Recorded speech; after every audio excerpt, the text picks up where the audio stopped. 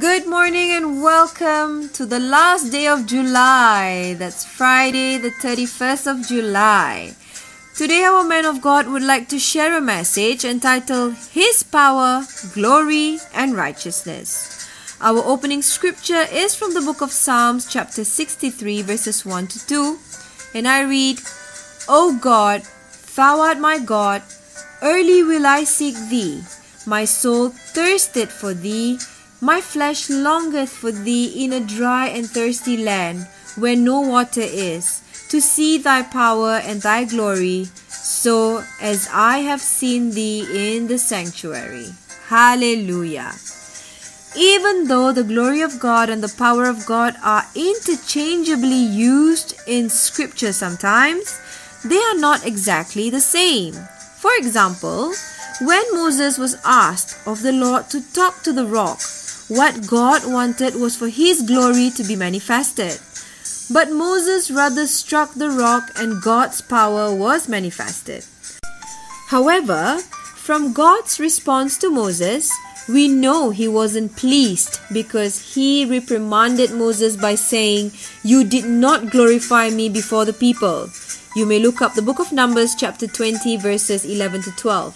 So, here is the point the glory is greater than the power because the glory includes not only the power of God, but also the grace and righteousness of God. The glory of God, actually, is the term that encapsulates all of His splendor and His righteousness. He manifests His righteousness in His glory. His power is manifested through us to accomplish His purpose. Nonetheless, the power could be abused as Paul indicates in 1 Corinthians chapter 9 verse 18. What is my reward then? Verily that when I preach the gospel, I may make the gospel of Christ without charge, that I abuse not my power in the gospel.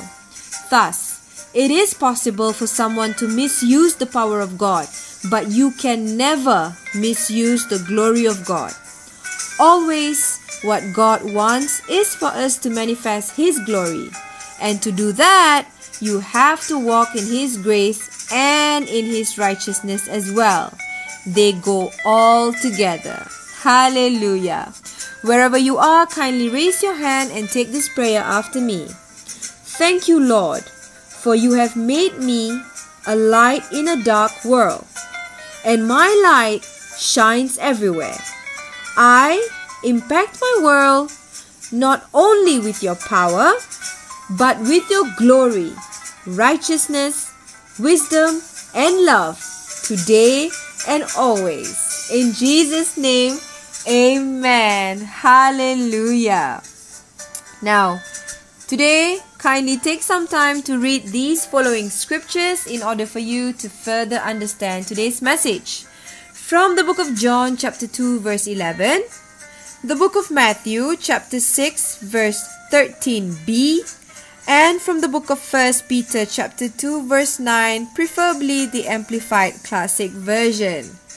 Hallelujah! As usual, my brothers and sisters, what do we do next? We shine the light to the people in our world by simply forwarding this video to them and let them shine the light into their world. Hallelujah.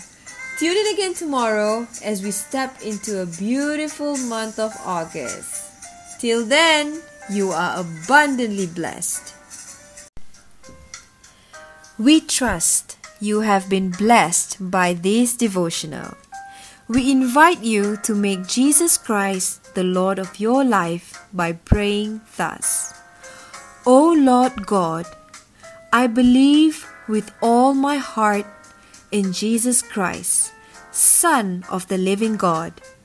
I believe He died for me and God raised Him from the dead. I believe He is alive today. I confess with my mouth that Jesus Christ is the Lord of my life from this day. Through him and in his name, I have eternal life. I'm born again. Thank you, Lord, for saving my soul. I'm now a child of God. Hallelujah. Congratulations. You are now a child of God. To receive more information on how you can grow as a Christian, please get in touch with us by emailing us at tni.msia at gmail.com. That's tni.msia at gmail.com. We look forward to hearing your testimony. You are blessed.